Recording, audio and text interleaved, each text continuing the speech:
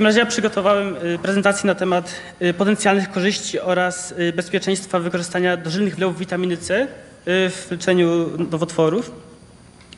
Jest to ostatnio temat popularny, ponieważ wielu naturopatów wykorzystuje tę terapię i zyskuje też ona popularność wśród niektórych lekarzy.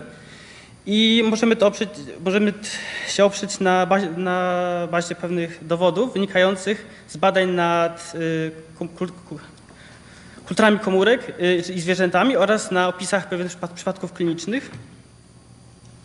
I dlatego moim celem było przeszukanie baz danych, głównie PubMed, y, w poszukiwaniu y, informacji na temat efektywności takich do- dożylnych wlewów witaminy C oraz ich bezpieczeństwa, zwłaszcza w kontekście potencjalnych interakcji z substancjami wykorzystywanymi, w leczeniu nowotworów.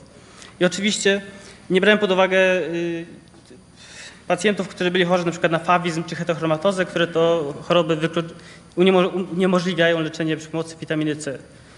Y, I w, w tych badaniach, które, które znalazłem, w większości y, podawano właśnie witaminę C dożylnie w dawkach od 50 do 140 gram na wlew i wydawało, wydaje się, że najbezpieczniejszym rozwiązaniem i dającym najlepsze rez- re- rezultaty było rozpoczęcie od niższej dawki i zwiększanie jej przy każdym wlewie.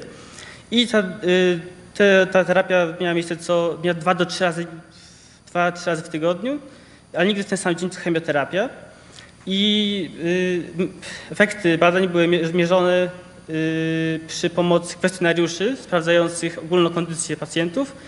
Y, oznaczano też stężenia y, markerów swoistych dla tych nowotworów i śledzono ich rozwój przy pomocy tomografii komputerowej. No i porównywano też długość, długość życia z, przewidywan- z przewidywanymi przez onkologów tam scenariuszami tych chorób, przebiegu tych chorób.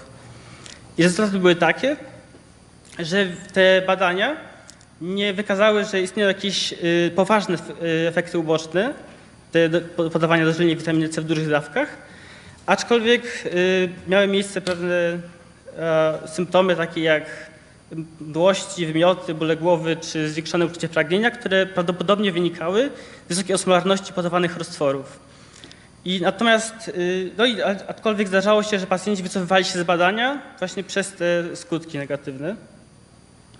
Mm, Natomiast nie było żadnych, nie zaobserwowano żadnych y, interakcji negatywnych pomiędzy tą witaminą C a chemioterapią. Y, raczej właśnie w pewnych okolicznościach witamina C zmniejszała toksyczność chemioterapii oraz y, potęgowała jej- wpływ na komórki nowotworowe. Ale takim najbardziej wyraźnym efektem pozytywnym było, było poprawienie kondycji tych pacjentów i ogólnego ich nastroju, ale nie był to efekt, który powtarzał się w każdym badaniu i wydaje się, że po prostu potrzebujemy więcej informacji na ten temat, bo są potrzebne po prostu kolejne badania nad dożylnymi wami witaminy C. No, koniec.